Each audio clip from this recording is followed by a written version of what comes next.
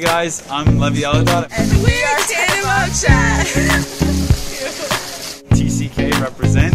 So I'm here at a Bar Ilan Israel experience, and it's a great time. We got to go shopping, we got to walk around the city. We also went rafting the Western Wall. We have the opportunity to really connect to Israel. It just like helps build your character. You're a year on your own. It's nothing like you've ever done before.